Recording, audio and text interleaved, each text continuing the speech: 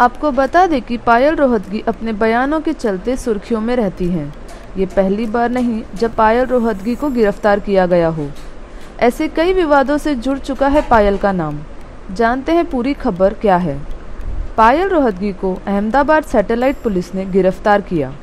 उन पर धमकी और खुलेआम गाली देने का आरोप है। पायल पर सोसाइटी के चेयरमैन के खिलाफ सोशल मीडिया पे गाली देने का आरोप है।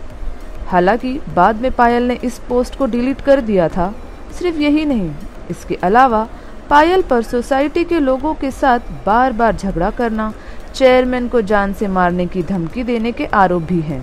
20 जून को सोसाइटी में जब एजीएम मीटिंग हुई थी तो पायल रोहतगी उसकी सदस्य ना होते हुए भी मीटिंग में आई थी। जब उन्हें बोलने पर सख्त मना किया गया तो वो गालियाँ देने लगी। साथ ही सोसाइटी में बच्चों के खेलने को लेकर भी कई बार झगड़ा कर चुकी हैं। पति संग्राम सिंह ने बताया कि सोसाइटी को पायल द्वारा घर के अंदर और बिल्डिंग के बाहर में किसी भी तरह के वीडियो को बनाने को लेकर आपत्ति थी और वो ऐसा करने से बार बार उन्हें रोकते थे।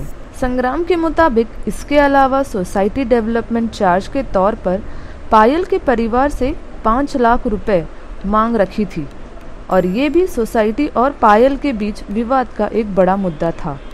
संग्राम। ये भी बता रहे हैं कि पुलिस पायल को बिना किसी समन के आज सुबह नौ बजे पुलिस स्टेशन ले गई और पुलिस स्टेशन में उनके साथ बदतमीजी और मारपीट भी की है।